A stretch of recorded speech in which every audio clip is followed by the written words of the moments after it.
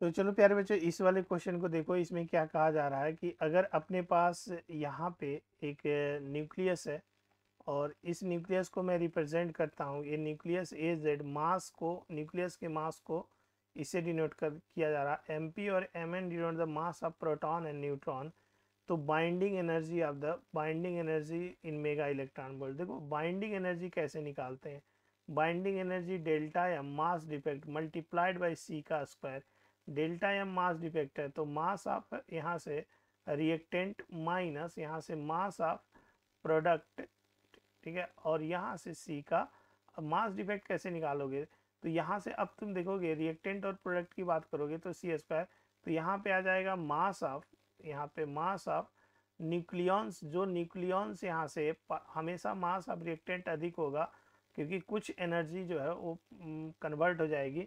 तो mass of nucleons minus यहाँ से minus mass of nucleus mass of nucleus तो यहाँ पे न्यूक्लियस का मास और इन सब में मैं सी से मल्टीप्लाई कर दूँगा तो हो जाएगा। तो मास ऑफ़ न्यूक्लियॉन्स जो छोटे छोटे न्यूक्लियॉन्स होते हैं, जिनमें न्यूक्लियस बनती है तो mass of nucleons mass of reactants is always greater than always greater than mass of nucleus ठीक है? क्योंकि कुछ मास डिफेक्ट आ जाता है, जिसे एनर्जी कन्वर्ट होती है, एनर्जी मिलती है हमें, ठीक है? तो मास ऑफ़ न्यूक्लियंस कितना हो जाएगा? तो मास ऑफ़ न्यूक्लियंस जो है, अगर ये एक्स एक्स यहाँ से जेड ए है तो मास ऑफ़ प्रोटॉन, ठीक है? मास ऑफ़ यहाँ से प्रोटॉन और मास ऑफ़ प्रोटॉन प्लस यहाँ से